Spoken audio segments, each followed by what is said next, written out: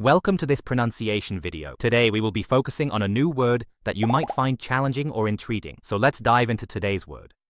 Sekkyoushi, which means mentor in Japanese. Let's say it all together.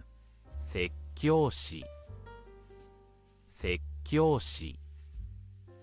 Sekkyoushi. One more time. Sekkyoushi. Sekkyoushi. Sekkyoushi. Thank you for joining us on this adventure in pronunciation. Remember, language is a journey, not a destination. Keep exploring, experimenting, and expanding your linguistic horizons. We'll see you next time.